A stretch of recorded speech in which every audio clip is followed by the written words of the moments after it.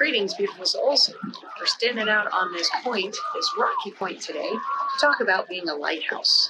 And I have to apologize for the wind. It seems that my microphone is dead, so I'm winging it today.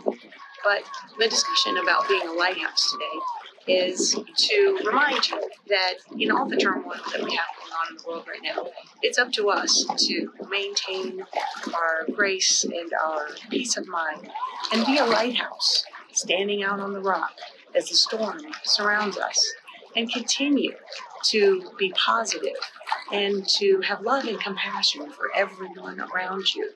And love doesn't necessarily mean that definition that we are presented from um, Hollywood's version and pop culture's version of love, which is the third dimensional kind of love that everyone says we need to collect and gather and hold on so tight to because we might lose it.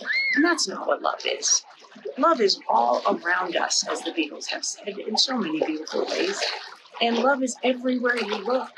And love is being kind to one another and sharing things and helping each other out and enjoying the beauty of nature together and being compassionate to one another, especially when those around you are going through a difficult time.